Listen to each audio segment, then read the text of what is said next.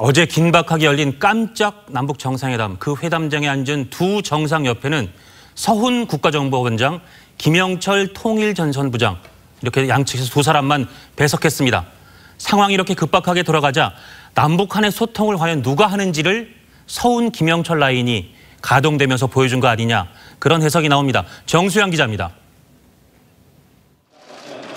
지난 4월 남북 정상회담 당시 남측에선 임종석 비서실장과 서훈 국정원장이 북측에선 김여정과 김영철 통일전선 부장이 배석했습니다. 하지만 이번 2차 남북 정상회담은 서훈 원장과 김영철 부장 2명뿐이었습니다. 이들은 지난 4월 남북 정상회담의 산파 역할을 했던 남북 관계 개선의 핵심 주역입니다. 1차에 이어 2차 회담 때도 배석했다는 점은 남북 대화의 실질적인 책임자라는 걸 보여줍니다. 미북 정상회담을 둘러싼 상황이 급박하게 돌아가자 서훈, 김영철 라인이 즉시 가동된 것 아니냐는 해석이 나옵니다.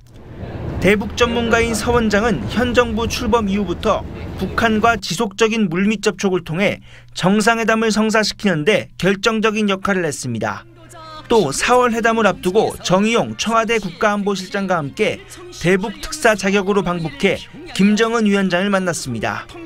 김영철 부장은 대남 업무를 총괄하며 폼페이오 미국 국무장관의 counter partner로 알려져 있습니다.